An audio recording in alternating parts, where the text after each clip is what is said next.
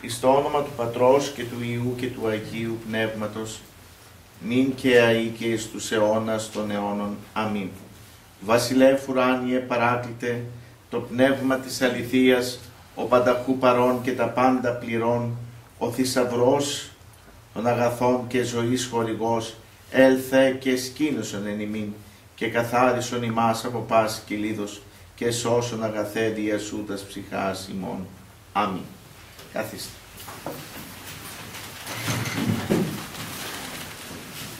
Στην σημερινή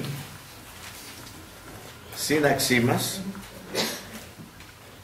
θα εξετάσουμε για τη χάρη του Θεού. Θα διαβάσω μερικά κομμάτια μέσα από το από την προς επιστολή, β' κεφάλαιο, από το στίχο 4, ότι ο Θεός, του Αποστόλου Παύλου προς Εφεσίους, έτσι, ο Θεός, ο δε Θεός πλούσιος ον ενελέει, δια την πολύ αγάπη αυτού, είναι αγάπησε ημάς και όντας ημάς νεκρούς της παραπτώμαση συνεζοποίησε το Χριστό. Χάρητη εστέ σε ζωσμένη και συνήγηρεν και συνεκάθισεν εν της επουρανής εν Χριστό Ιησού. Ήνα ενδείξετε εν της εώση της επερχομένης των υπερβάλλοντα πλούτων της χάριτος αυτού εν Χριστότητη εφημάς εν Χριστό Ιησού. Τη γάρ χάριτη εστέσε ζωσμένη δια της πίστεως και τούτο ούκ εξημών Θεού το δώρο, ούκ εξέργων ή να μην τις καπιήσετε. Αυτού γαρεσμέν ποίημα κτιστέντες εν Χριστό Ιησού επιέργης αγαθής εις προετοίμασε ο Θεός ή να εν αυτής περιπατήσουμε. Θα σας το διαβάσω και στη μετάφραση για να το κατανοήσετε. Ο Θεός όμως μας αγάπησε γιατί είναι πλούσιος σε έλεος και έχει απέραντη αγάπη. Και ενώ ήμασταν πνευματικά νεκροί εξαιτίας των παραπτωμάτων μας, των αμαρτημάτων μας, μας ξαναέδωσε ζωή μαζί με τον Χριστό. Με τη χάρη Του έχετε σωθεί. Μας ανέστησε μαζί με τον Ιησού Χριστό και μας έβαλε να καθίσουμε μαζί με Αυτόν στα ουράνια. Και έτσι με την αγάπη που μας έδειξε για του Ιησού Χριστού φανερώνει τις, μελλοντικές, τις μελλοντικές γενιές πόσο υπερβολικά γενναιόδορη είναι η χάρη Του. Πραγματικά, με τη χάρη Του σωθήκατε δια της πίστεως. Γι' αυτό και αυτό δεν είναι δικό σας κατόρθωμα, αλλά αυτό είναι δώρο του Θεού. Δεν σωθήκατε με τα δικά σας έργα και έτσι κανένας από εσάς δεν μπορεί να καυχηθεί γι' αυτό. Γιατί είμαστε δημιούργημα του Θεού ο οποίος δια Ιησού Χριστού μας έκανε καινούριου ανθρώπους για να μπορούμε να κάνουμε καλά έργα που τα προετοίμασε ο Θεός για να είναι με αυτά γεμάτη η ζωή μας. Εδώ ο Απόστολος Παύλος τονίζει προς τους χριστιανούς που ζουν στην Έφεσο Γι' αυτό λέγεται και προς Εφεσίους η επιστολή και διαμέσου των χριστιανών της Εφέσου απευθύνεται σε όλους εμάς. Σε όλους τους μελλοντικούς χριστιανούς απευθύνεται αυτή η επιστολή. Δεν είναι δηλαδή μονάχα η επιστολή αυτή για τους Εφεσίους, αλλά ισχύει για όλους τους χριστιανούς. Για όσους υπήρξαν και θα υπάρξουν στο μέλλον. Τι μας λέει; Μας λέει ότι ο Θεός είναι πλούσιος και αυτή η επιστολή, αυτό το τμήμα μάλλον το, που διαβάσαμε, διαβάστηκε την προηγούμενη Κυριακή που διαβάζουμε το Ευαγγέλιο του άφρονα πλουσίου. Που υπήρχε ο πλούσιος ο οποίος έλεγε ότι έχω πολλά αγαθά, τι να κάνω, να γκρεμίσω τις εκδοθήκες μου για να χτίσω μεγαλύτερες. Και τότε άκουσε τη φωνή του Θεού που του είπε άφρον άφρον, ταύτη τη νυχτή την ψυχή σου απαιτούσε από σου. Σε αντιδιαστορή προς αυτό το ευαγγελικό κείμενο δηλαδή που οι Άγιοι Πατέρες μας παρουσιάζουν διαμέσου του Ευαγγελίου έναν άφρονα πλούσιο, ο οποίος μάζευε, εναντι, μάζευε για τον εαυτό του, εν αντιθέσει κάνουν τη διαστολή με τον Θεό, ο Απόστολος, που πάντοτε αν προσέξετε Ευαγγέλιο και Απόστολος κάποια σχέση έχουν. Στα κείμενα αν ψάξετε μέσα κάποια λέξη ευρίσκεται και στο Ευαγγέλιο. Εδώ είναι ο πλούσιος Θεός ο οποίος όμως με αγάπη, γιατί έχει αγάπη, σκορπίζει πλούσια τα ολέη του.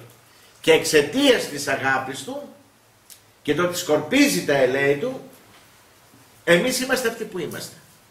Έχουμε σωθεί. Ζούμε εν αντιθέσει με τον πλούσιο του Ευαγγελίου, ο οποίος μαζεύει για τον εαυτό του, ο κόσμος δυστυχεί και πεθαίνει από πείνα.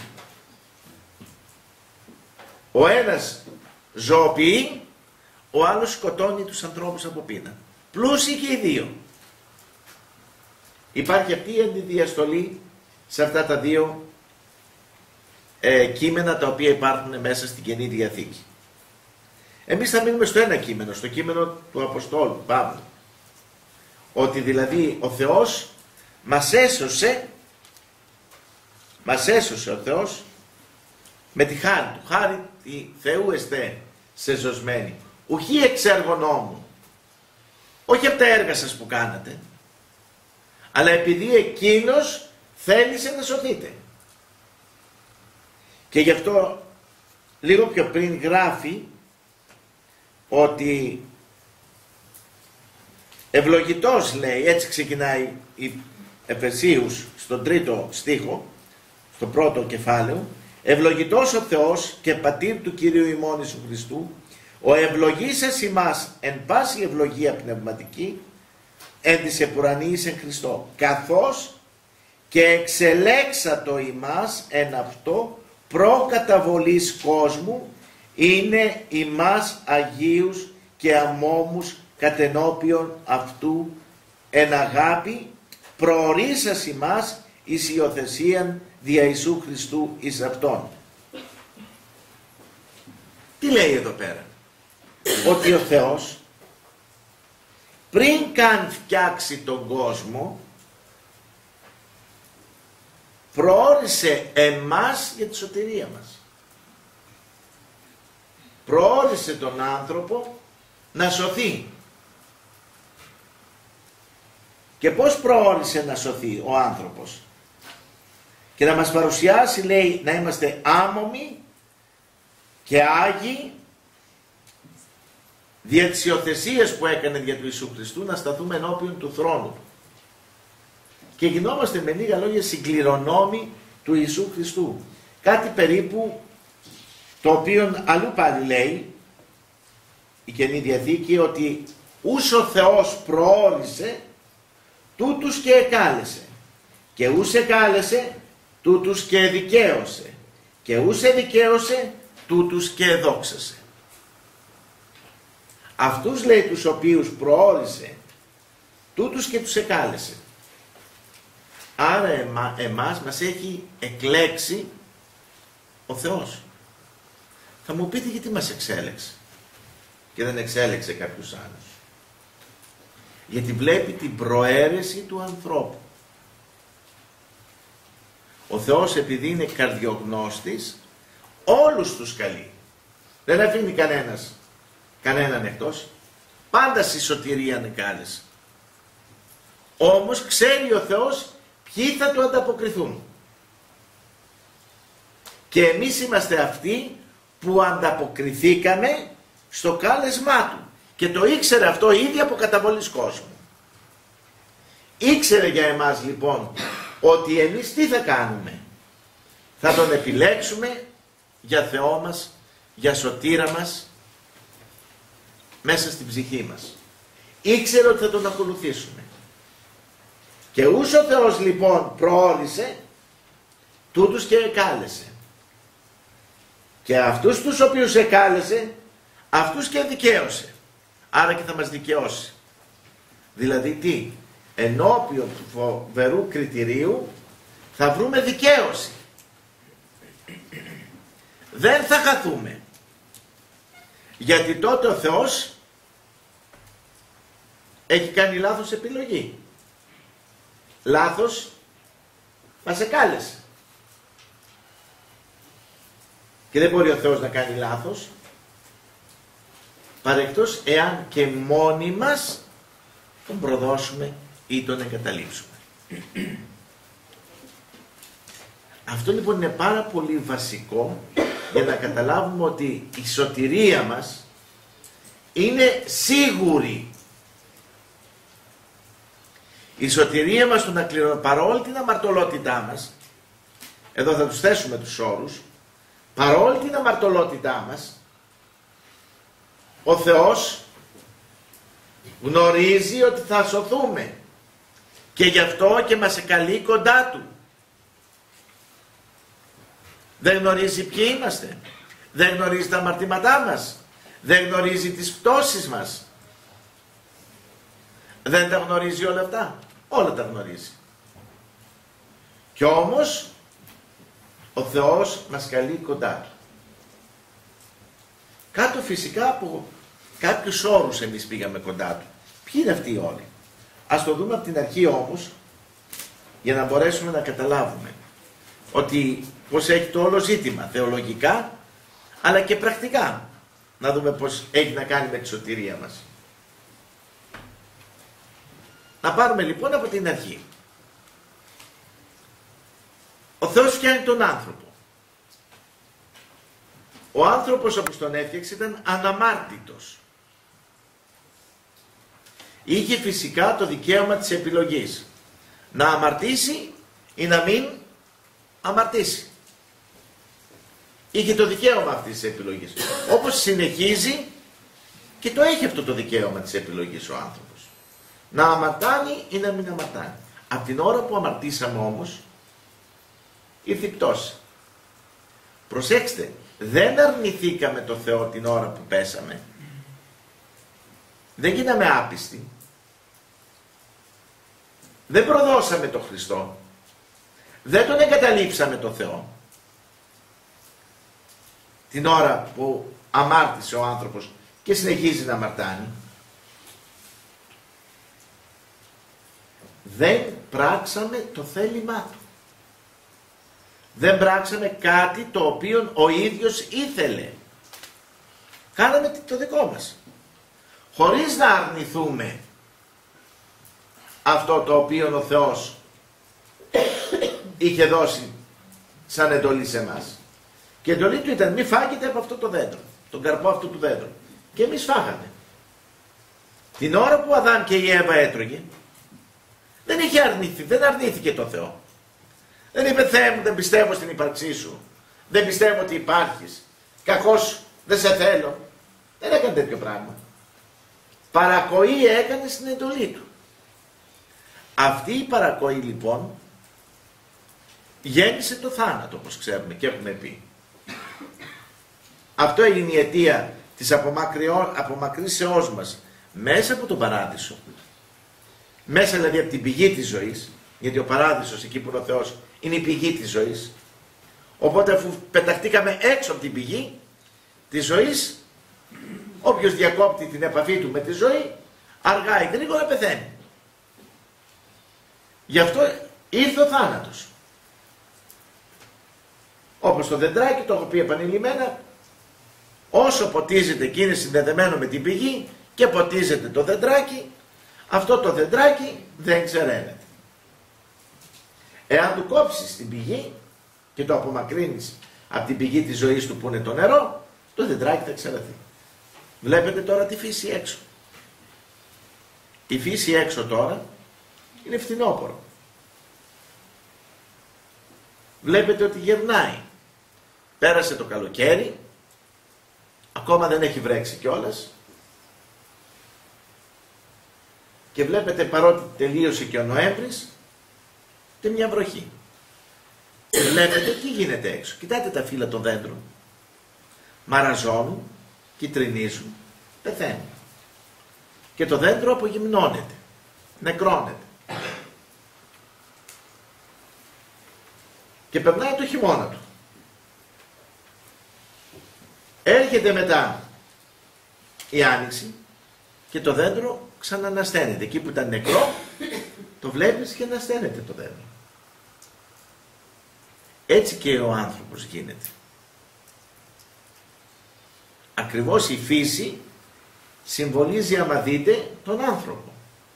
Ο οποίος γεννιέται, μεγαλώνει, μαραζώνει, κυτρινίζει, πεθαίνει. Και ξαναέρχεται η Ανάσταση μετά. Και γι' αυτό βλέπετε ότι η Ανάσταση του Χριστού δεν είναι τυχαία το ότι έγινε την Άνοιξη, που ανασταίνεται και η φύση. Γιατί θέλει ο Θεός μέσα από τη φύση να μας διδάξει ότι όπως πεθαίνει η φύση και τη βλέπετε τη φύση να πεθαίνει και νεκρώνονται τα πάντα έξω και τα πλακώνει παγωνιά, έτσι θα πλακώσει και εσάς τους ανθρώπους κάποια στιγμή η παγωνιά. Θα πεθάνετε. Αλλά μην απελπιστείτε γιατί δεν πεθαίνετε στην ουσία όπως και το δέντρο δεν είναι νεκρό. Όπως και το δέντρο δεν είναι νεκρό. Ξανανασταίνεται πάλι. Έτσι θα αναστηθεί και ο άνθρωπος. Για να φτάσουμε λοιπόν σε αυτό το σημείο, ο άνθρωπος από την ώρα λοιπόν που έπεσε, έχασε τον παράδεισο. Έχασε δηλαδή την πηγή της ζωής. Άρα στόχος μας πρέπει να είναι η επανασύνδεσή μας με την πηγή της ζωής. Δηλαδή ο άνθρωπος σαν στόχο της ζωής του δεν πρέπει να έχει τίποτε άλλο πλην κύριο στόχο, όλοι οι άλλοι πρέπει να είναι δευτερεύοντες, το να μπορέσει να ξανακερδίσει τον παράδεισο. Η επαναφορά του στον παράδεισο. Η επαναφορά του στην πηγή της ζωής. Πετάχτηκε έξω από τον παράδεισο και αυτό του κοστίζει και έρχεται ο θάνατος. Άρα για να παραμείνω αιώνια ζωντανός πρέπει να είμαι δίπλα από την πηγή. Και γι' αυτό μιλάμε και στο πιστεύω, προσδοκώ Ανάστασης νεκρών και ζωή του μέλλοντος αιώνος. Αιώνια ζωή. Για να έχω λοιπόν αιώνια ζωή, να μην ξανά υπάρξει ο θάνατος, πρέπει να είμαι μέσα στον παράδεισο. Άρα ο άνθρωπος ο οποίος έχει νου στο μυαλό του, πρέπει να αγωνίζεται σε όλη του τη ζωή να πετύχει τι, το στόχο του. Ο άνθρωπος πρέπει να βάζει στόχους, να βάζει σκοπούς. Ο κύριος σκοπός όμως της ζωής δεν είναι ούτε να αποκτήσω αυτοκίνητα, ούτε χρήματα, ούτε πλούτη, ούτε τίποτα. Θυμηθείτε αυτό που είπε ο Άγιος Κοσμάς ο Ετωλός, μια προφητεία, θα έρθει καιρός που θα σας τα πάρουν όλα. Προσέξτε, γιατί και να σας τα πάρουν δεν πειράζει. Μην τους δώσετε όμως Χριστό και ψυχή. Αυτά λέει δεν μπορούν να σας τα πάρουν, μόνο εάν τους τα δώσετε. Ε, αυτό εμείς δεν το κάναμε μέσα στο διάβολο, στον παράδεισο. Και ούτε και τώρα το κάνουμε. Την ψυχή μας δεν την παραδίδουμε στο διάβολο. Ναι μεν ο άνθρωπος αμαρτάνει, αλλά δεν είμαστε άπιστοι. Είναι άλλο η απιστία. Εμείς αμαρτάνουμε εν Χριστώ Ιησού. Εν σύ αναπνέουμε όπως λέει ο Άγιος Γρηγόριος ο θεολόγος και εν σύ αμαρτάνουμε. Κοντά σου Χριστέ μου αναπνέουμε, κοντά σου και αμαρτάνουμε. Δεν σε αρνούμεθα. Δεν φεύγουμε δηλαδή μακριά σου. Γιατί υπάρχουν άνθρωποι οι οποίοι φεύγουν μακριά του. Ο Χριστός λοιπόν αυτό το πράγμα το έχει προβλέψει. Και ξέρει λοιπόν ποιοι θα είναι κοντά του. Και ακριβώς γι' αυτό είπε αυτό το πράγμα ότι εξελέξα το ημάς προκαταβολής κόσμους. Σας εξέλεξε λέει ο Θεός προκαταβολής κόσμου.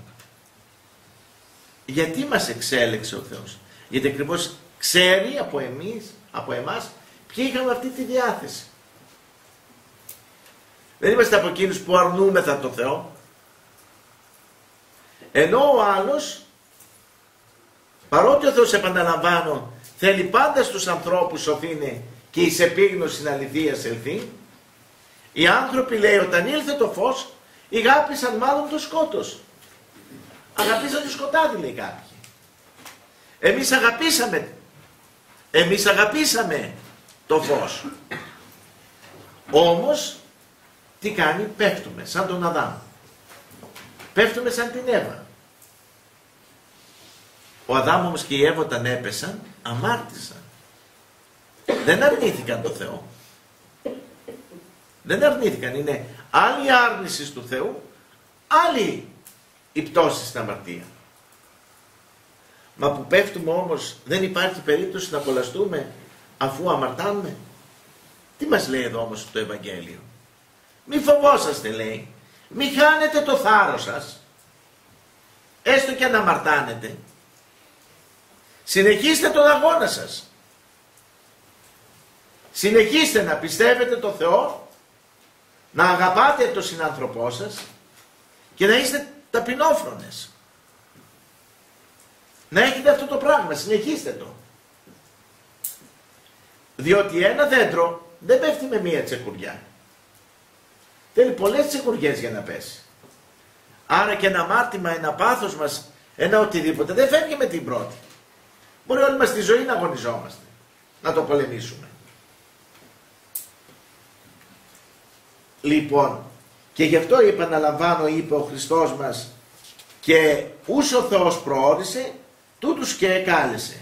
Άρα λοιπόν εμείς προοριστήκαμε από το Θεό και μας εξέλεξε ο Θεός και μας εκάλεσε κοντά Του και τούτους σε δικαίωσε. Και αυτούς λέει που τους εκάλεσε κοντά Του, τους σε δικαίωσε. Άρα εμείς θα δικαιωθούμε. Στη Δευτέρα την παρουσία θα δικαιωθούμε. Δεν κινδυνεύουμε να χάσουμε την ψυχή μας. Θα λάβουμε δικαίωση. Γιατί αν τη χάσουμε, τότε έχει πέσει έξω ο Θεός. Ο οποίος μας εκάλεσε και δεν ήξερε ποιον καλούσε. Έκανε λάθος επιλογή. Έκανε λάθος επιλογή τότε. Και ούσε δικαίωσε, τούτους και εδόξασε. Και όσοι δικαιώνονται στο κριτήριο της Δευτέρας Παρουσίας, τούτοι και σώζονται και δοξάζονται. Άρα λοιπόν παρόλες τις φτώσεις μας, δεν πρέπει να απελπιστούμε. Γιατί, γιατί μας έδωσε τη λύση και τον τρόπο της σωτηρίας μας, που δεν είναι άλλος από τη μετάνοια. που δεν είναι άλλος, δεν υπάρχει άλλη οδός της σωτηρίας μας παρά μέσα από τη μετάνοια. Επειδή ο Θεός γνωρίζει ότι αυτούς που εκάλεσε θα έχουν πτώσεις. Όπως γνωρίζουμε εμείς ότι το παιδί που κάνουμε και θα χτυπήσει και θα πέσει και θα λερωθεί και θα έρθει με λάσπες. Ακόμα και ότι όταν είναι μικρό θα τα κάνει επάνω του θα λερωθεί από τις ακαταρσίες του, το γνωρίζει ο γονιός. Αλλά ο γονιός όμως φροντίζει και βρήκε και τον τρόπο του καθαρισμού του. Και το καθαρίζει. Έτσι και μας ο Θεός μας έδειξε τον τρόπο του καθαρισμού μας. Ο οποίος τρόπος του καθαρισμού μας είναι η μετάνοια. Είναι η μετάνοια η οποία θα μας οδηγήσει πίσω στην κανονική μας και φυσιολογική μας κατάσταση. Που είναι στο να ξαναπούμε η φυσιολογική μας κατάσταση, είμαστε στον παράδεισο. Τώρα είμαστε παραφύσινοι θα λέγαμε. Δεν είμαστε στη φυσιολογική μας κατάσταση. Δεν ζούμε φυσιολογικά. Αυτό το οποίο ζούμε είναι αφύσικο. Δηλαδή ο άνθρωπος δεν πλάστηκε να ζει και να πεθαίνει και να ζει μέσα στην αμαρτία. Αυτό είναι αφύσικο, δεν είναι φυσικό. Ο τρόπος ζωής που κάνουμε δεν είναι ο φυσικός τρόπος ζωής, είναι παραφύση είναι αυτός ο τρόπος που ζούμε. Παρά τη φύση μας. Η φύση μας είναι όπως ζούσαμε μέσα στον παράδεισο. Μια ζωή αναμάρτητη. Μια ζωή αγιότητος. Μια ζωή κοντά στο Θεό. Βλέπαμε και μιλούσαμε με το Θεό. Βλέπαμε και ακούγαμε το Θεό. Είμαστε συνδεδεμένοι με την πηγή της ζωής. Αυτή ήταν η φυσική μας κατάσταση. Όπως η φυσιολογική κατάσταση εμάς των μοναχών είναι εδώ στο μοναστήρι. Αν μας πετάξουν έξω στον δρόμο, είναι παραφύση, δεν είναι ο φυσικός μας στόχος. Εκεί που γίναμε μοναχοί, εκεί που μονάζουμε, εκεί που αγωνιζόμαστε καθημερινά. Βγήκες έξω από τη φύση. Και όταν πεταχτείς έξω από το μοναστήρι, τι κοιτάς να κάνεις, πώς θα επανέλθεις; Ας το πάρουν το μοναστήρι σου και εσύ βρεθείς απ' έξω, κοιτάς πώς θα ξαναμπείς να ζήσεις την κανονική σου ζωή, τη φυσιολογική ζωή του μοναχού. Το ίδιο εμείς πρέπει να επιδιώκουμε. Να κερδίσουμε και να ζήσουμε ξανά τη φυσιολογική ζωή. Αυτός θα πρέπει να είναι ο πρώτος στόχος της ζωής μας. Και δυστυχώς οι περισσότεροι των ανθρώπων αφήνουν τα χρόνια τους περνούν, ασπρίζουν τα μαλλιά τους, γερνάνε, όλα τα άλλα τα έχουν κοιτάξει, τα παιδιά τους τα αποκαταστήσανε, σπίτια τους φτιάξανε, ε, αυτοκίνητα πήρανε, εξοχικά κάνανε. Αλλά λέει ο Άγιος Κοσμάς ο αυτά λέει θα σας τα πάρω. Τα βλέπετε τώρα με όσα γίνονται και έτσι όπως πάει η οικονομία, μπορεί οποιοδήποτε όλα αυτά τα οποία έχει φτιάξει να τα χάσει. Όλα αυτά τα οποία έχει φτιάξει. Να τα χάσει μια ίδια παντός. Μην ξεχνάτε πόσοι άνθρωποι χάνουν τα σπίτια τους κάθε μέρα. Τους τα παίρνουν οι τράπεζες. Στην Ουγγαρία λέει μέσα σε μια νύχτα που άλλαξε το νόμισμά τους και επανήλθαν στο κανονικό νόμισμά τους γιατί είχαν και αυτοί ως φαίνεται το ευρώ χάσανε 150.000 άνθρωποι σε μία νύχτα. 150.000 οικογένειες χάσαν τα σπίτια τους. Εν μία νύχτη μείναν άστεγοι. Ήδη η Ελλάδα, από ό,τι λένε τα δελτία ειδήσεων, έχουμε 20.000 αν, ε, αστέγους. Χάσαν τα σπίτια τους. Εκεί που μένανε. Και πού κοιμούνται όλοι αυτοί, σε ιδρύματα, σε δρόμους, κάτω από την ομόνια, κάτω από γέφυρες και ζητιανεύουν για να επιβιώσουν. Και είναι πάρα πολλοί αυτοί. 500.000 είναι αυτοί, είπε το δελτίο ειδήσεων, οι οποίοι δεν έχουν μισό εκατομμύριο κόσμος στην Ελλάδα, δεν έχει κανένα εισόδημα. Δηλαδή δεν παίρνει ούτε το επίδομα ανεργίας. Ούτε κάποια μικρή σύνταξη. Κανένα εισόδημα. Μισό εκατομμύριο άνθρωποι. Και αυτοί τι κάνουν βλέπετε. Ψάχνουν στα σκουπίδια κάθε μέρα. Για να μπορέσουν να βρουν, να φάνε και να ζήσουν. Άρα λοιπόν σήμερα αυτοί, αύριο εμείς. Δεν ξέρεις μπορεί να σου συμβεί.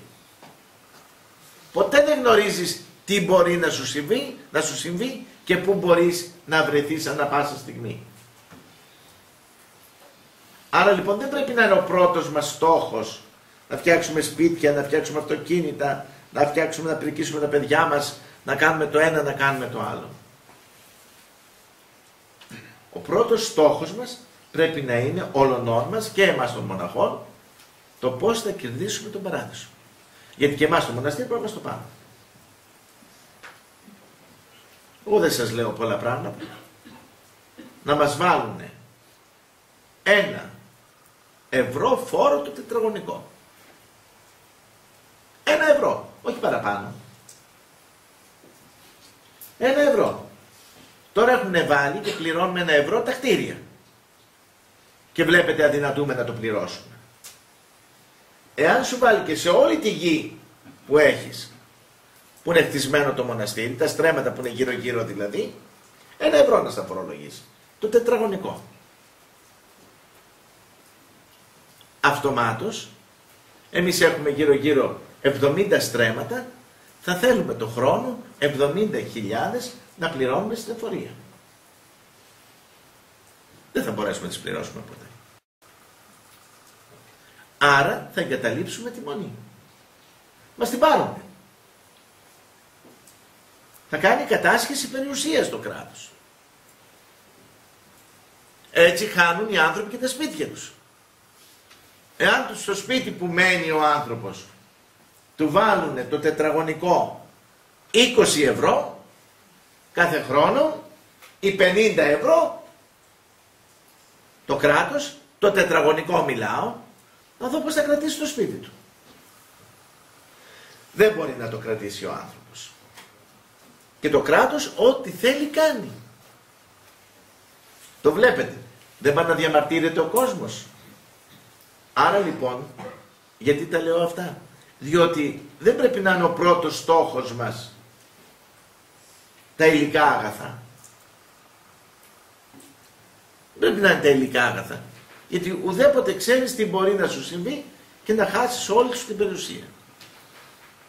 Οι πρώτοι χριστιανοί και μόνο το ότι ήταν χριστιανοί, όταν το πληροφορεί το, το κράτος, τους τρεις πρώτους αιώνες, το πρώτο που τους έκανε, υπήρχε η νομοθεσία που έλεγε όποιος άλλαζε και από ειδωλολάτρης γινόταν χριστιανός, έχανε αυτομάτως όλη του την περιουσία.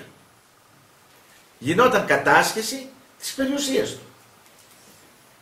Γιατί το έβαλε αυτό το κράτος, για να εμποδίσει να μην γίνονται οι άνθρωποι χριστιανοί. Τους φόβιζε και τους απειλούσε ότι αν γίνετε χριστιανοί θα χάσετε ό,τι περιουσία έχετε. Και όμως αυτοί οι άνθρωποι των τριών πρώτων αιώνων δεν, είχαν, δεν έβαλαν στόχο την περιουσία τους. Δείτε ότι δέχτηκαν να χάσουν την περιουσία τους. Και την έχασαν. Γι' αυτό έγιναν και χριστιανοί. Και όχι μόνο την περιουσία τους, μαρτυρούσαν όταν τους συλλαμβάναν κιόλας. Μαρτυρούσαν όταν τους συλλαμβάνανε. Δίναν και τη ζωή τους και το αίμα τους. Γιατί, γιατί είχαν στόχο ένα, τον κύριο στόχο. Όλα τα υπόλοιπα ήταν δευτερεύονται στόχοι. Δευτερεύονται στόχοι είναι. Είναι σαν τον άφρονα πλούσιο του Ευαγγελίου. Άφρον, άφρον, ταύτη τη νυχτή, την ψυχή σου απαιτούσε απεσού. Α, δε τι μας ασθενιέστε. Βρε άφρον άνθρωπο, άνθρωπε. Όλα αυτά που ετοιμάζει για ποιον είναι. Απόψε φεύγεις σου λέει, πεθαίνεις. Και αν δεν έρθει να στα πάρει το κράτος, με ένα θάνατο, αυτομάτως θα έχεις χάσει όλα. Τίποτα από όλα αυτά δεν σε ακολουθεί και δεν παίρνεις μαζί σου. Τίποτα από όλα αυτά δεν είναι δικά σου. Άρα λοιπόν ο πρώτος στόχος που πρέπει να έχουμε είναι η επαναφορά μας μέσα στον παράδεισο. Και αυτό το πράγμα γίνεται με την μετάνοια. Πώς γίνεται με τη μετάνοια; Μετάνοια το λέει η λέξη. Έχει να κάνει με το νου μας. Πρέπει να αποκτήσω νουν Χριστού. Να πάψω να σκέφτομαι πτωτικά να πάψω να σκέφτομαι στο παραφύσιν που ευρίσκομαι και να σκεφτώ ξανά φυσιολογικά. Τι πρέπει να κάνω για να κερδίσω τον παράδεισο. Πώς θα σκεφτόμουν να αποκτήσω σκέψη όπως όταν ήμουν φυσιολογικά μες στον παράδεισο. Πώς σκεφτόμουν όταν ήμουν μες στον παράδεισο. Αυτή τη σκέψη. Αυτό για να το κάνω πρέπει να πολεμήσω ό,τι είναι αμαρτία, ό,τι προέρχεται από τον σατανά που θέλει να χάσω την ψυχή μου. Και τι έκανα, δεν απίστησα, είπαμε στον παράδεισο, ο άνθρωπος δεν έγινε άπιστος. Την εντολή του Θεού δεν εφήρμοσε. Το θέλημά του δεν έκανε, αυτό που ήθελε ο Θεός. Έκανε το δικό του. Άρα λοιπόν αυτό που πρέπει να κάνω και εγώ είναι ότι από εδώ και πέρα αλλάζω μυαλό και φροντίζω να κάνω αυτό που είναι το θέλημα του Θεού. Αυτό είναι η πρώτη κίνηση της μετανοίας. Να συλλάβει ο νους μου ότι πρέπει να κερδίσω τον παράδεισο διότι αυτός είναι ο στόχος μου αυτός είναι ο κύριος σκοπός μου και πρέπει να σκεφτώ βάσει αυτού του πράγματος τι πρέπει να κάνω. Πώς τον έχασα τον παράδεισο; Γιατί δεν έκανα δεν άκουσα τη φωνή του Θεού. Δεν άκουσα ποιο είναι και δεν εφήρμοσα το θέλημά του. Άρα λοιπόν πρέπει να εφαρμόσω τώρα το θέλημά του. Κάθε φορά που, εφαρμο, που αμαρτάνουμε όμως, εφαρμόζουμε το δικό μας θέλημα. Ή το θέλημα του διαβόλου. Σε κάθε περίπτωση που αμαρτάνουμε. Για οποιοδήποτε λόγο. Θέλετε εξαδυναμίας, θέλετε από παρασυρώμεθα, θέλετε από την κακή μας επιθυμία που υπάρχει μέσα μας, ο παλαιός άνθρωπος. Για οποιοδήποτε λόγο, αυτό που κάνουμε είναι ένα. Δεν ακούμε την εντολή του Θεού. Ακούμε τις επιθυμίες τις δικές μας. Ακούμε τη φωνή τη δική μας. Άρα ένα από αυτά που πρέπει να πολεμήσουμε, ένας αν θέλετε να λέγαμε πρακτικός τρόπος, είναι το να πολεμώ τις δικές μου επιθυμίες. Να μην κάνω αυτό που επιθυμώ, αυτό που η επιθυμία, διότι αυτό έχει το ζώο μέσα του. Το ζώο το αυτό το πράγμα έχει έχει αυτές τις ορμές. Το ζώο δεν κινείται λογικά, έχει, έχει την αίσθηση της πείνας, πάει και τρώει. Κινείται βάσει των ορμών του. Δεν έχει λογική το ζώο και γι' αυτό το ζώο και δεν μπορεί να μετανοήσει. δεν μπορεί να μετανοήσει το ζώο. Κινείται βάσει των επιθυμιών του. Ο άνθρωπος λοιπόν δεν πρέπει να κινηθεί βάσει των επιθυμιών του. Όσο αμαρτάνει, Κινείται βάσει των επιθυμιών του. Βάσει των αισθήσεών του κινείται. Αυτό κάνει. Αυτό λοιπόν είναι παραφύσιμο. Δεν είναι φυσιολογικό που κάνουμε. Πρέπει να κινηθούμε, ο άνθρωπος τι έκανε μέσα στον παράδεισο, το θέλημα του Θεού εφήρμοσε και τα είχε καλά με το Θεό. Ήταν συνδεδεμένος με την πηγή της ζωής. Άρα το ίδιο πράγμα πρέπει να κάνω κι εγώ. Άρα πρέπει να πάψω να σκέπτομαι και να ενεργώ σύμφωνα με τις επιθυμίες μου. Σύμφωνα με τις επιθυμίες του παλαιού ανθρώπου. Αυτός είναι ο τρόπος που μου δείχνει. Αυτός σημαίνει μετάνοια. Αλλάζω το νου μου, τον τρόπο της σκέψεώς μου. Και ο νους ξέρετε είναι τα πάντα. Γιατί ό,τι έχουμε, με το νου το αποκτούμε. Ακόμα και την προσευχή μας, όταν, και το καλό. Τις εικόνες που δημιουργούμε, τα πάντα όλα γίνονται μέσα από το, από το νου.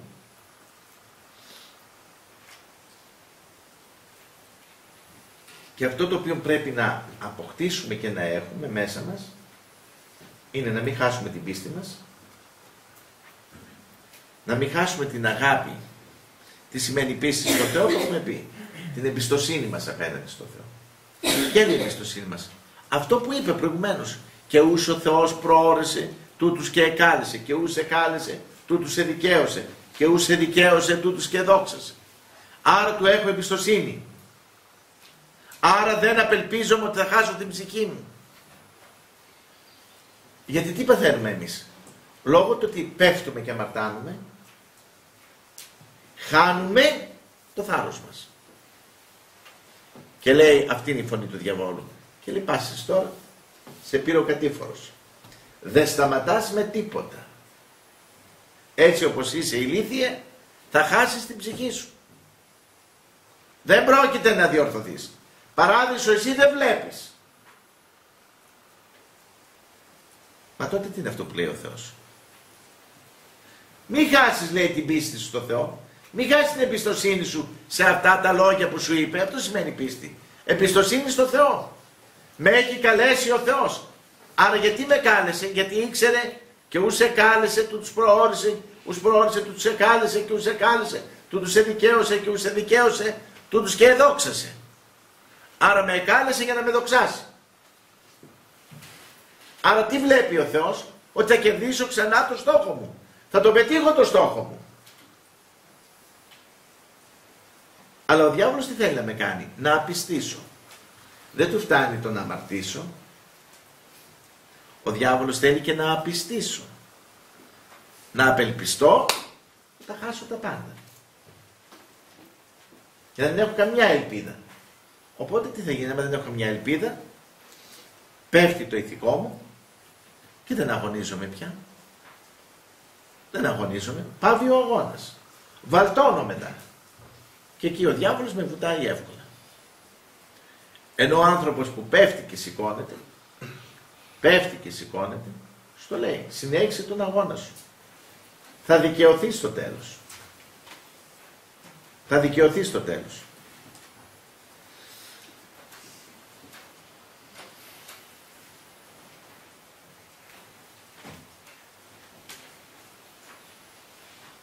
Πώς είπαμε ξεκινάει η μετάνοια. Η μετάνοια λοιπόν ξεκινάει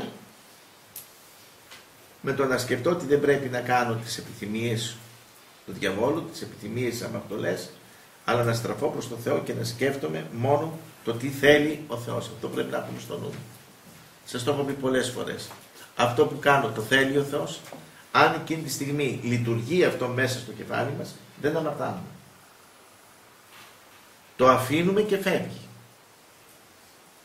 Την ώρα της αμαρτίας δεν βάζει ο άνθρωπος να σκεφτεί αυτό που κάνω τώρα το θέλει ο Θεός.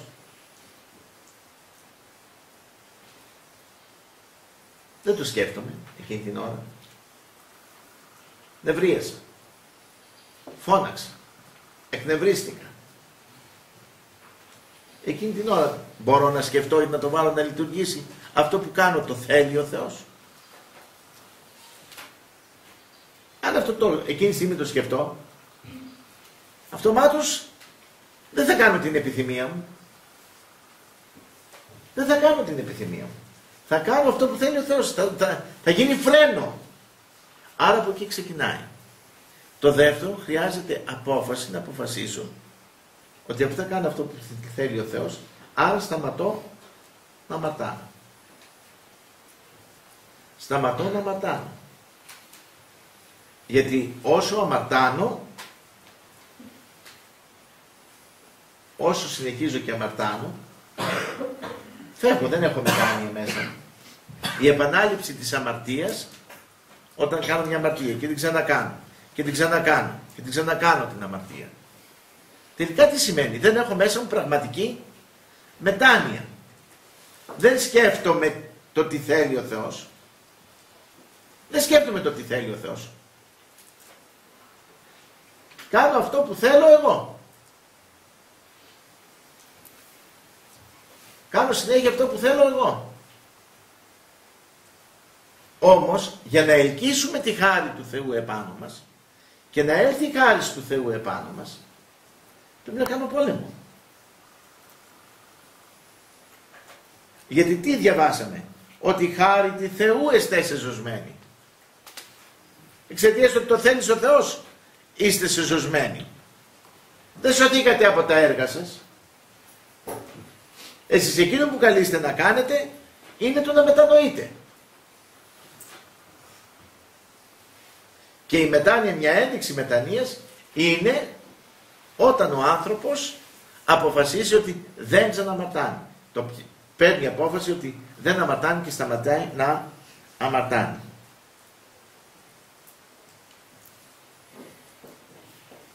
Το δεύτερο. Το τι αισθάνεται ο άνθρωπος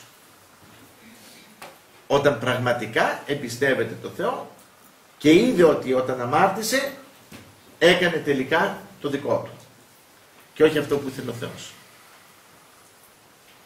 Όταν ένα αγαπημένο μας πρόσωπο μας πει να του κάνουμε κάτι και εμείς δεν το κάνουμε.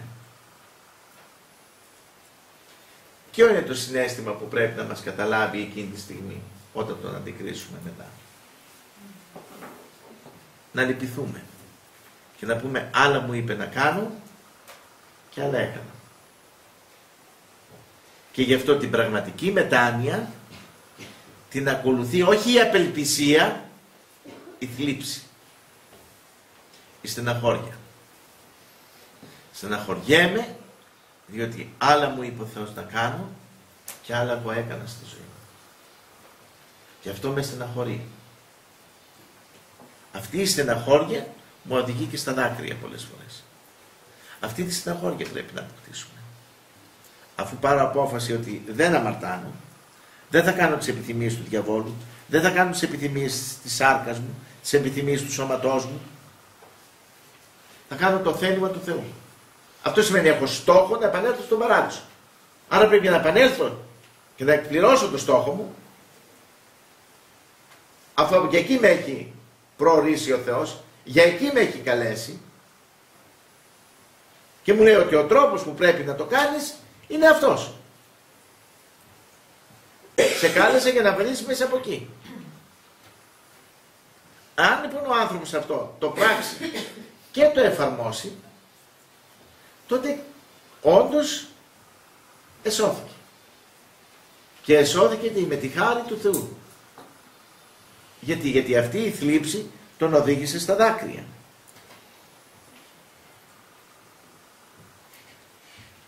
Και μετά τι κάνει; Ο ίδιος ο άνθρωπος ψάχνει να βρει τρόπους όπου θα δείξει στο Θεό ότι στεναχωρέθηκε. Αυτός που πραγματικά μετανοεί ψάχνει να βρει τρόπους που θα αποδείξει στο Θεό ότι τον αγαπάει. Θα αποδείξει στο Θεό ότι έκανα λάθος. Συγχώρα με. Πώς εμείς όταν σε ένα πρόσωπο που αγαπάμε και το θέλουμε κοντά μας να το έχουμε, το ίδιο είναι με το Θεό. Είναι ένα πρόσωπο το οποίο το θέλουμε κοντά μας να το έχουμε. Και θέλουμε να είμαστε κοντά του. Άρα όταν του στεναχωρώ μετά τι προσπαθώ να κάνω. Προσπαθώ με τον τρόπο μου να του, του δείξω από τα έργα με αυτά που κάνω, αυτά που θα κάνω, να του δείξω ότι έχω στεναχωρηθεί και προσπαθώ να διορθώσω το λάθος μου. Εκεί έχει να κάνει η νηστεία. Όχι μόνο οι καθιερωμένοι. Γι' αυτό βλέπετε πολλοί Άγιοι όταν αμαρτάνανε, λέγανε θα κάνω 10 μέρες αλάδοτο. Θα κάνω 500 μετάνοιες. Ώστε με τα έργα τους να προσπαθούν να διορθώσουν, να δείξουν στο Θεό ότι κατάλαβαν το λάθος τους. Έτσι γεννήθηκαν οι νηστείες, έτσι γεννήθηκαν οι μετάνοιες. Μέσα στον χώρο της Εκκλησίας. Είναι ένδειξη συντριβής μας. Ένδειξη μετανοίας μας. Ένδειξη της θλίψεώς μας. Γι' αυτό δεν είναι περίοδος νηστείας, άρα νηστεύω. Η νηστεία είναι καρπός στην ουσία της μετανοίας μας. Και γι' αυτό ο άνθρωπος με έργα που κάνει προσπαθεί να αποδείξει μετά ότι θέλω να διορθώσω τον.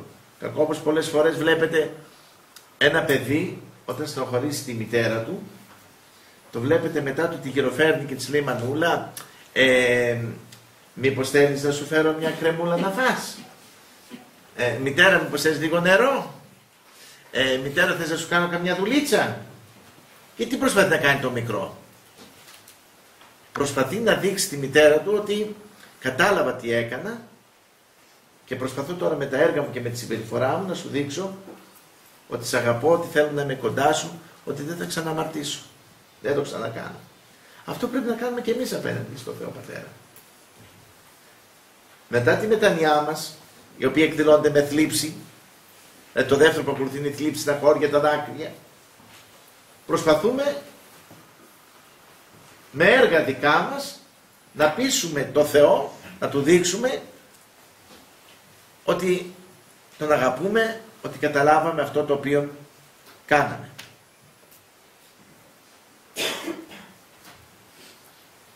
Και συμμετέχει σε αυτά τα πράγματα και η ψυχή μας και το σώμα. Γιατί δεν αμαρτάνει μόνο το σώμα. Και γι' αυτό στην κόλαση στον παράδεισο δεν πάει ο άνθρωπος χώρια η ψυχή του, γι' αυτό γενική ανάσταση των νεκρών. Γιατί ο άνθρωπος είτε ευαρέστησε το Θεό, είτε τον δυσαρέστησε το Θεό, τον δυσαρεστούσε με την ψυχή και με το σώμα. Και μετά δύο δεν έκανε μόνο το ένα, δηλαδή δεν αμάρτανε μόνο η ψυχή, όπως είχαμε εκεί στη γειτονιά μου όταν ήμουν στην Ηλιούπολη, μια κυρία που δούλευε σε οίκο ανοχής. Και έλεγε εγώ πάτερ μου με το Θεό είμαι πάρα πολύ καλά. Εγώ μόνο με το σώμα αμαρτάνω. Η ψυχή μου είναι δοσμένη στο Θεό. Δεν γίνεται αυτό. Ο άνθρωπος αμαρτάνει ψυχείται και σώματι. Και γι' αυτό ή όταν κάνει μια ελεημοσύνη ή κάνει έργα αγάπης συμμετέχει και το σώμα και η ψυχή. Και γι' αυτό ψυχή και σώμα πρέπει να πάει στον παράδεισο. Και γι' αυτό τώρα δεν είναι κανένας μες στον παράδεισο. Ούτε είναι κανείς στην κόλαση. Γιατί; Γιατί πρέπει να πάει μαζί με το σώμα. Είτε στον παράδεισο θα πάει, είτε στην κόλαση πρέπει να πάει μαζί με το σώμα. Ψυχή και σώμα. Τώρα η ψυχή λείπει από το σώμα. Άρα θα επιστρέψει η ψυχή και έχουμε την Ανάσταση των νεκρών. Ώστε ο άνθρωπος θα δικαστεί όπως ήταν. Δεν θα δικαστεί ο μισός. Άρα λοιπόν και στα έργα της μετανοίας μας πρέπει να συμμετέχει και η ψυχή και το σώμα. Και γι' αυτό βάζουμε ασκήσεις και στο σώμα. Δεν λυπάται μόνο η ψυχή. Η θλίψη είναι εσωτερικό της ψυχής. Η στεναχώρια, τα δάκρυα που βγάζουμε. Γι' αυτό ακολουθεί και το πρακτικό που είναι το σώμα. Η μετάνοια, η νηστεία. Μπορεί να πει κάποιος θα κάνω κάτι άλλο για το Θεό. Πολλοί άνθρωποι σκέφτονται διάφορα και κάνουν. Για να αποδείξουν στο Θεό ότι, δεν θα, ότι πόσο στεναχωρηθήκανε, σαν το μικρό παιδάκι όπως σας είπα.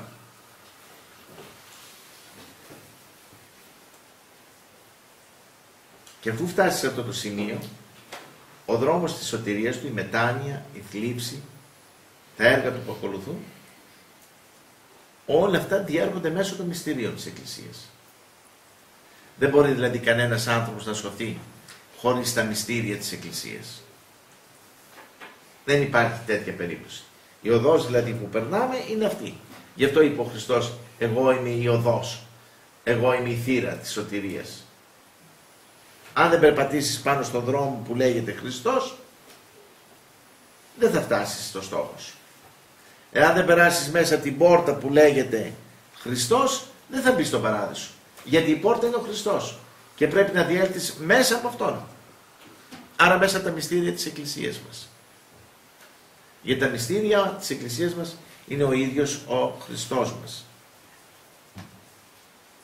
Ο άνθρωπος λοιπόν ο οποίος κάνει όλα αυτά και αγωνίζεται, περνάει τρία στάδια. Έτσι λοιπόν το πρώτο αυτό στάδιο της μετανοίας που αγωνίζεται και κόβει τα αμαρτήματά του είναι η κάθαρση. Καθαρίζεται. Όσο λοιπόν μετά εισέρχεται στα μυστήρια και διώχνει τις επιθυμίες της σαρκός, διώχνει τις επιθυμίες του διαβόλου, διώχνει τις επιθυμίες, τι κάνει; Αρχίζει και φωτίζει το νους του. Και αποκτά σιγά σιγά το τι θέλει ο Θεός. Κάνω αυτό που θέλει ο Θεός. Άρα αποκτώ νουν Χριστού έχω πλέον το ουκέτι ζω εγώ, ζει δε εν εμή Χριστός. Δεν ζω πλέον εγώ, αλλά ζει μέσα μου Χριστός. Και περνάει στο δεύτερο στάδιο. Σιγά σιγά που είναι η φώτιση. Και τι πετυχαίνει; Αρχίζει να δαμάζει τις αισθήσεις του, αρχίζει να δαμάζει τα πάθη του, αρχίζει να δαμάζει τις επιθυμίες του. Πώς το άγριο θηρίο το εκπαιδεύεις και το δαμάζεις, έτσι ακριβώς ο άνθρωπος δαμάζει μετά τα πάθη του. Ενώ πριν με τα πάθη του είναι ένα, με τα πάθη του είναι ένα, τώρα πλέον έχει αποκοπεί από τα πάθη,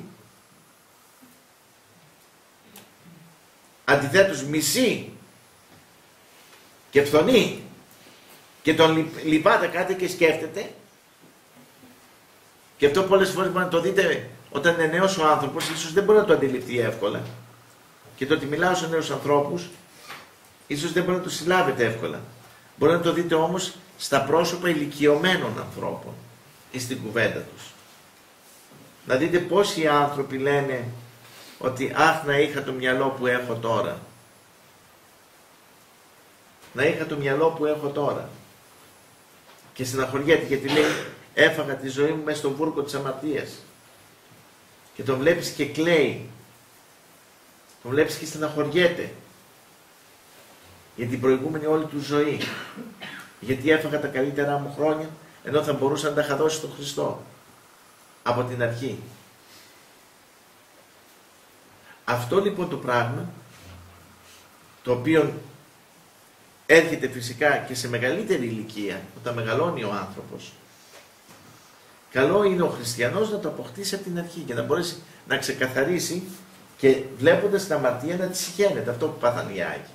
Οι Άγιοι αυτό παθαίνανε. Δεν το παθαίνανε από την αρχή.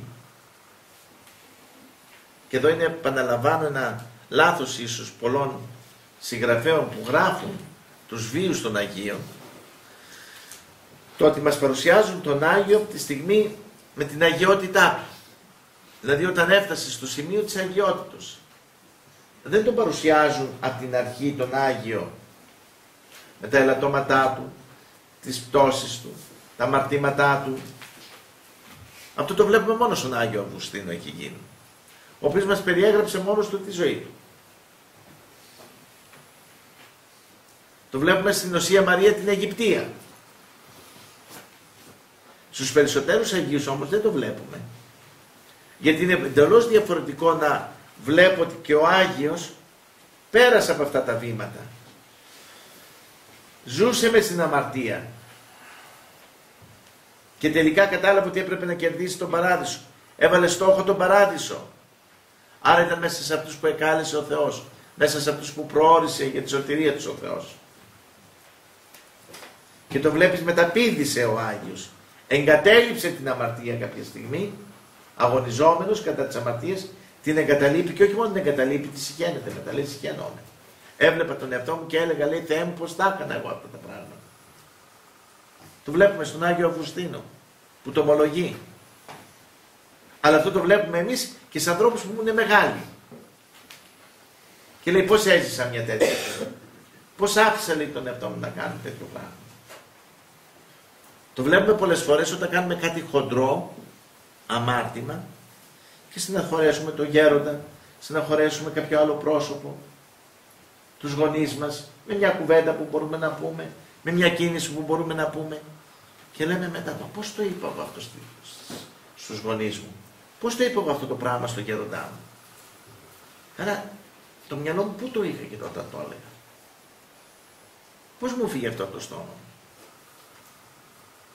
Συνειδητοποιώ και λέω τι είπα; Αυτό λοιπόν το πράγμα, όταν έχω περάσει από εκεί, αυτό μετά μου γεννάει, είπαμε, τη θλίψη. Στεναχωριέμαι για αυτά που έκανα. Πονάω για αυτά που έκανα. Γιατί, Γιατί με όλα αυτά που είχα κάνει τελικά τι έκανα, στεναχωρούσα το Θεό από την αρχή. Αυτός ο οποίος με αγάπησε πρώτος. Ο οποίος με κάλεσε κοντά του.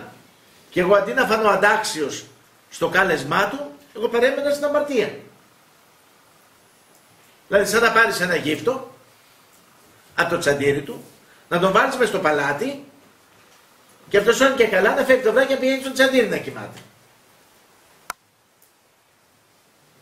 Και να λέει ο βασιλιάς, μα είναι δυνατόν εγώ κάνω τα πάντα αυτόν τον άνθρωπο να τον κάνω να ζήσει μες στο παλάτι, να ζήσει όμορφα, πλουσιοπάροχα, και αυτός μου ξαναγυρίζει εκεί. Δεν καταλαβαίνει τι κάνει. Αλλά η συνήθεια, και έχει μεγάλο πράγμα η συνήθεια στην αμαρτία, η συνήθεια τον κάνει το γύφτο να πηγαίνει πάλι πίσω στο τσαντήρι του.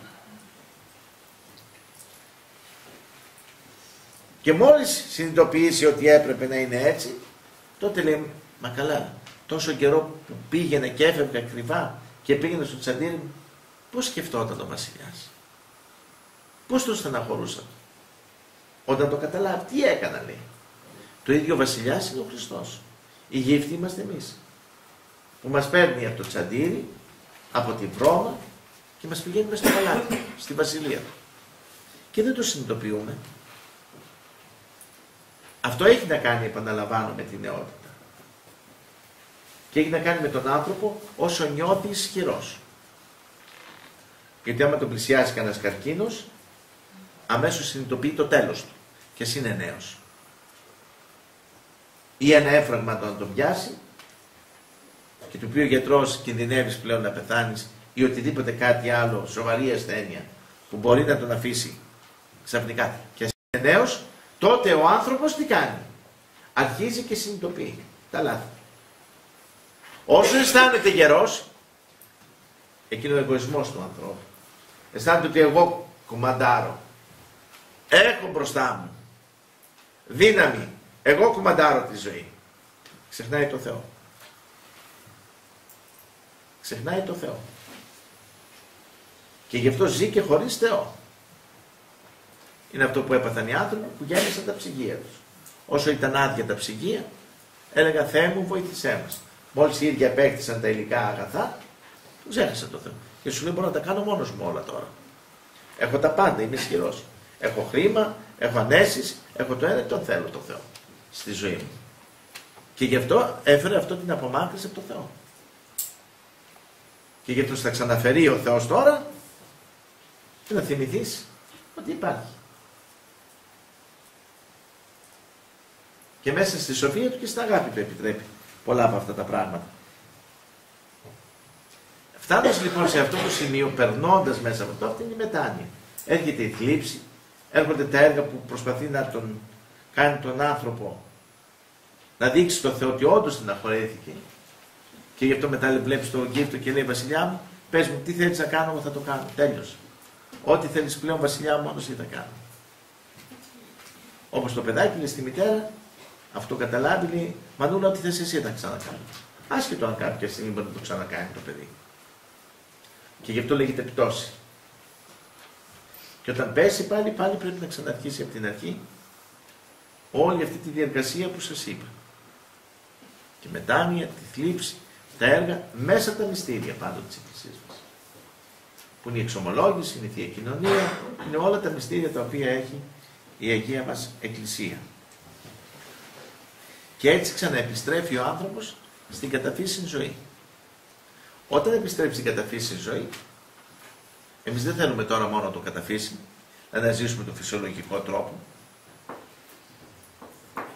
Εμείς θέλουμε να πάμε στο υπέρ την φύση να έχουμε κληθεί πλέον τώρα. Από το καταφύσιν πήγαμε στο παραφύσιν, πρέπει να γυρίσουμε στο καταφύσιν, στο φυσιολογικό, για να πάμε στο υπερφυσικό τώρα. Στο υπέρ την φύση. Και υπέρ την φύση ποια είναι; Ο φωτισμός και η θέωση. Μέσα από όλη αυτή τη διαδικασία ο άνθρωπος αρχίζει και ανοίγει η διάνοιά του. Ανοίγει ο νους του. Αρχίζει πλησιάζει το Θεό. Φωτίζεται ο άνθρωπος. Έρχεται και αυτός σαν δώρο του Θεού. Όπως σαν δώρο του Θεού έρχεται η σωτηρία του, έτσι σαν δώρο του Θεού έρχεται και ο φωτισμός. Και μπαίνει, φεύγει από το στάδιο της κατάρσεως και μπαίνει στο στάδιο του φωτισμού. Από το στάδιο του φωτισμού πλέον, και γι' αυτό βλέπουμε τους ανθρώπους που είναι φωτισμένους έχουν διάκριση, έχουν χαρίσματα, έχουν μίλια, όσα. Και τι γίνεται; Μετά από όλα αυτά φτάνει ο άνθρωπος στην θέωση. Η θέωση τι είναι, είναι η υπέρβαση από το καταφύσιν στο υπέρ την φύση. Και γι' αυτό βλέπετε ότι οι Άγιοι κάνανε υπερφυσικά πράγματα. Γι' αυτό βλέπαμε η Αγία Μαρία η Αιγυπτία, την έβλεπαν, δεν περπατούσε λέει πάνω στην άμμο, πετούσε. Και σε λίγα δευτερόλεπτα έκανε λέει ολόκληρες αποστάσεις. Γιατί θεώνεται πλέον. Φτάνει στο σημείο της θεώσεως. Και όλα αυτά φυσικά για να τα επιτύχει ο άνθρωπος πρέπει να έχει πεπειραμένο πνευματικό που να το καθοδηγεί. Δεν γίνεται μόνοι μας, το έχουμε ξαναπεί σε άλλη σύναξη που είχαμε κάνει, ότι σήμερα δυστυχώς αν έχουμε τα μαύρα μας χάλια, τα έχουμε γιατί δεν έχουμε πεπειραμένους πνευματικούς. Ο πεπειραμένος πνευματικός σε οδηγεί σταθερά προς τη θέωση. Έχει περπατήσει το δρόμο, γνωρίζει, ξέρει προς τα που πέφτει ο παράδεισος. Άρα μπορεί να σε πάει. Ένας ο οποίος δεν ξέρει προς τα που πέφτει ο παράδεισος, Προς τα πού να σε πάει. Ένας που δεν ξέρει το δρόμο θα χαθεί και ο ίδιος. Θα χαθεί και ο ίδιος. Εάν βρίσκεσαι μες στην έρημο και κάποιος πάει να κάνει τον οδηγό ενώ δεν είναι οδηγός, δεν θα σε βγάλει ποτέ από την έρημο και δεν ξέρει την έξοδο και το δρόμο για να σε βγάλει από την έρημο να σε πάει ξανά στην πόλη. Θα χαθεί και θα γυρίσει μες στην έρημο. Είναι ο λεγόμενος απλανής οδηγός. Δεν πλανεύεται, δεν ξεγελιέται. Ξέρει που πάει. Άρα λοιπόν είναι ουσιαστικό το να έχουμε πεπειραμένους πνευματικούς, στους οποίους πρέπει να ακολουθούμε. Πεπειραμένοι πνευματικοί καταρχάς είναι οι Άγιοι. Και γι' αυτό πρέπει να βαδίζουμε στα βήματα των Αγίων. Να μην ξεφεύγουμε. Να βλέπουμε πώς ζούσαν οι Άγιοι, πώς αντιμετωπίζαν οι Άγιοι αυτή την περίπτωση, τι κάναν οι Άγιοι στα χνάρια των Αγίων. Περπατώντας και εμείς στα χνάρια των Αγίων, είμαστε σίγουροι για τη σωτηρία μας. Γιατί αφού πάω από τα χνάρια του, θα βγω, θα βρω τον παράδεισο. Θα βρω τον παράδεισο. Και γι' αυτό επανειλημμένος έχω πει ότι δεν μας ενδιαφέρουν το τι λέει ο κάθε ιερέας, ο κάθε επίσκοπος, ο κάθε πατριάρχης, ο κάθε μητροπολίτης. Δεν μας απασχολεί τι λέει. Μπορεί να λέει ό,τι θέλει, δικαίωμά του είναι. Εμείς αυτό που λέει πρέπει να δούμε εάν είναι σύμφωνο και είναι αν περπατάει στα χνάρια των Αγίων. Αν αυτό που κάνει δεν περπατάει με τους Αγίους μαζί, δεν τον ακολουθούμε. Γιατί δεν είναι απλανής οδηγός. Θα χάσουμε την ψυχή μας να τον ακολουθήσουμε. Γι' αυτό κοιτάω, πορεύεται στα βήματα των Αγίων. Ο ιερέας μου, ο πνευματικός μου, πορεύεται στα βήματα των Αγίων. Ο επίσκοπός μου, πορεύεται στα βήματα των Αγίων. Εάν δεν πορεύεται και εγώ τον ακολουθώ, δεν θα βγω ποτέ από την έρημο. Δεν θα φτάσω ποτέ μου στον παράδεισο. Ούτε και εκείνος θα φτάσει. Ούτε και εκείνος θα φτάσει. Γι' αυτό οδηγοί μας είναι οι Άγιοι. Αυτοί που περπάτησαν και σίγουρα φτάσανε στη Βασιλεία των Ουρανών. Γι' αυτό κοιτάμε, βαδίζουν σύμφωνα με το Ευαγγέλιο, βαδίζουν σύμφωνα στα χνάρια των Αγίων. Αν λοιπόν ο πεπειραμένος και έμπειρος πνευματικός και ο φωτισμένος πνευματικός μας είναι απαραίτητος για τη σωτηρία της ψυχής μας. Τελειώντας ήθελα να πω ότι όταν φτάσουμε στο στάδιο του φωτισμού υπάρχουν μερικοί εχθροί. Ποιοι είναι αυτοί οι εχθροί; Που μπορούν να πιάσουν έναν άνθρωπο που περάσει την κάθαρση και φτάσει στο στάδιο του φωτισμού. Είναι η ίση και η καινοδοξία. Να νομίσει δηλαδή ότι κάτι πέτυχε. Εδώ λοιπόν έρχεται το αποστολικό ανάγνωσμα που διαβάσαμε.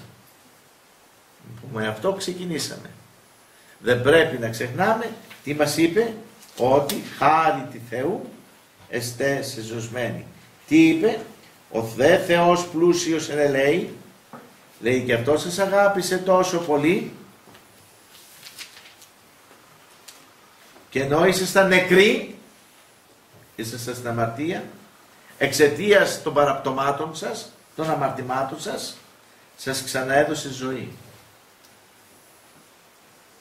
Σας στιχάρισε τη ζωή. Με τη χάρη του έχετε σωθεί. Όχι επειδή εσείς κάτι κάνατε. Εκείνος θέλησε.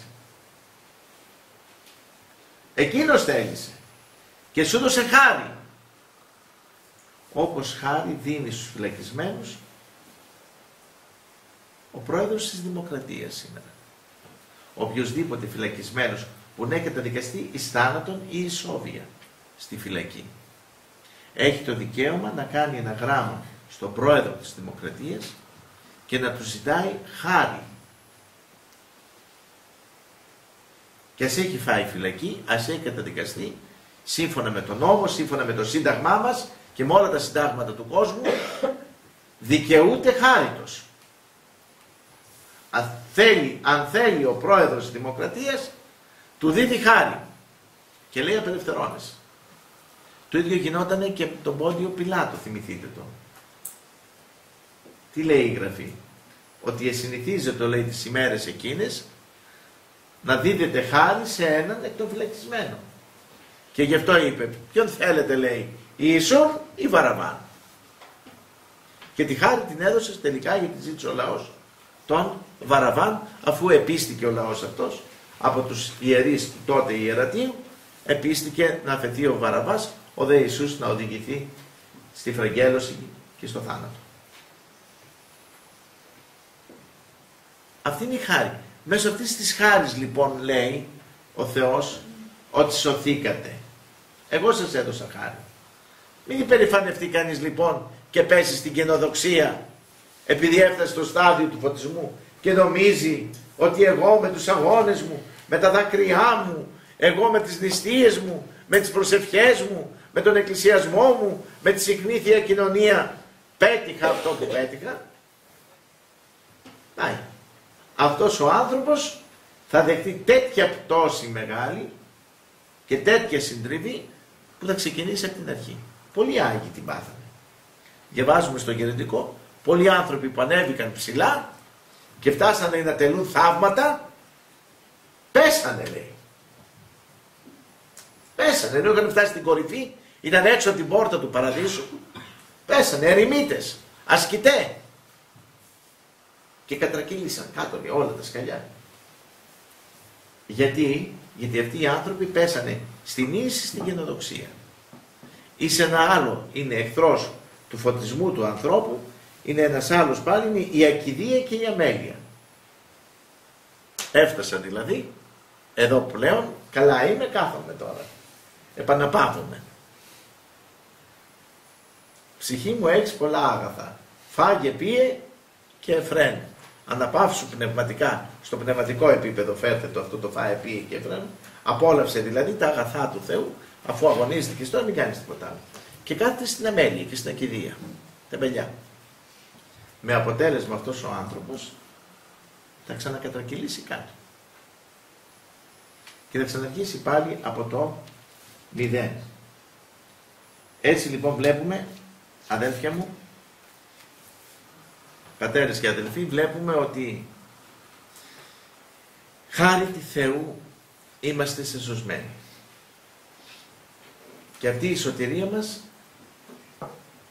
θα την κρατήσουμε εάν συνεχίζουμε να πιστεύουμε στο Θεό, να του έχουμε εμπιστοσύνη, να μην απογοητευτούμε ότι δεν θα σωθούμε, να συνεχίσουμε τον αγώνα μας, γιατί ο άνθρωπος είναι αδύναμος, πέφτει και σηκώνεται. Και γι' αυτό στα γεροντικά διαβάζουμε και λέει ότι Θεέ μου σε παρακαλώ όταν με πάρεις να μην με πάρεις εν ώρα πτώσεως αλλά εν ώρα αναστάσεως. Όταν δηλαδή έχω μετανιώσει, έχω εξομολογηθεί και έχω κοινωνήσει. Μην με πάρεις την ώρα που αμάρτησα. Και ο Θεός όμως τι σου λέει εδώ πέρα; Λέει ότι αυτός που αγωνίζεται και ούς ο Θεός προόρισε τούτους και εκάλεσε και ούς εκάλεσε τούτους και δικαίωσε και ούς εδικαίωσε τούτους και εδόξασε. Άρα λοιπόν, αφού μας εκάλεσε ο Θεός κοντά Του, γιατί είμαστε κοντά Του, δεν είμαστε άπιστοι, είμαστε κοντά Του. Αμαρτωλοί μεν, αλλά κοντά Του. Δεν είμαστε ασεβείς. Δεν ηρωνευόμαστε τα της πίστεως. Δεν κοροϊδεύουμε, κοροϊδεύουμε την εκκλησία μας.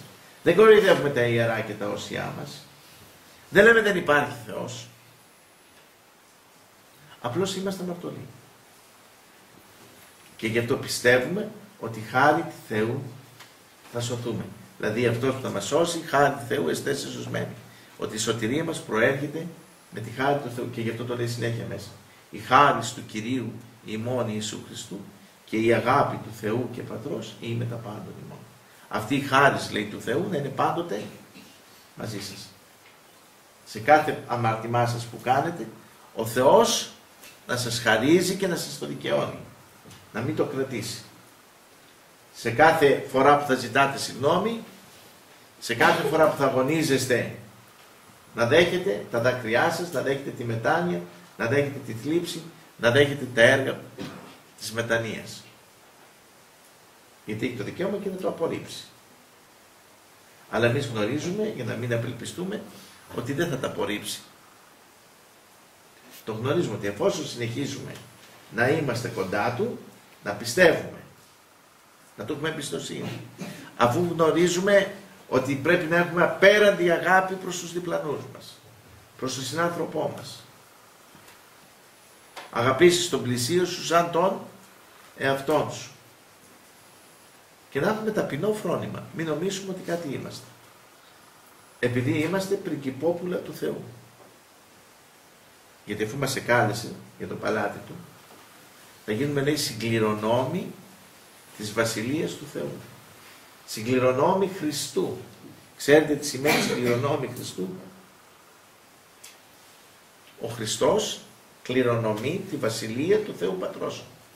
Ο Βασιλιάς είναι ο Θεός, Πατέρας, ο Υιός Του, ως Θεάνθρωπος. Κληρονομεί τη Βασιλεία του Πατρός. Αυτό λέει η Διαθήκη που έχει υπογραφεί. Κληρονομεί τη Βασιλεία του Θεού. Αφού κληρονομεί τη Βασιλεία του Θεού, εμείς τι λέει ότι γινόμαστε ο Χριστός, συγκληρονόμοι Του. Δηλαδή αυτή η Διαθήκη που κρατάω αυτό το πράγμα λέει μέσα. Διαθήκη, τάτου. Είναι καινούργια Διαθήκη. Για την παλιά την αχρήστευσε. Και μας λέει θα γίνετε συγκληρονόμοι μου. Πρίγκιπας ο Χριστός, πρίγκιπες κι εμείς. Αλλά ο Χριστός δεν γίνεται πρίγκιπας μόνο, τώρα είμαστε πρίγκιπες. Ο Χριστός τι κάνει μέσα στο βασίλειο, τι θα κάνει; Θα βασιλέψει εις αιώνας, αιώνα και θα βασιλεύει εις αιώνας αιώνα.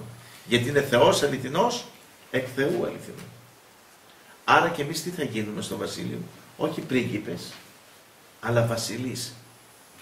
Θα συμβασιλέψουμε και εμείς μετά του Χριστού. Θα συμβασιλέψουμε με τον βασιλέα Χριστό. Δεν θα είμαστε πρίγκιπες μέσα στο βασιλειό του, αλλά θα συμβασιλεύουμε μαζί του. Αρκεί να περάσουμε μέσα από αυτό το δρόμο της μετανοίας, γιατί η χάρη του δίνεται μέσα, από εκεί την κερδίζουμε. Το οποίο να ακολουθήσουμε αυτά τα βήματα, ας ακολουθήσουμε στα χνάρια των Αγίων, για να συμβασιλεύσουμε και εμείς με τον Χριστό μας. Αμήν.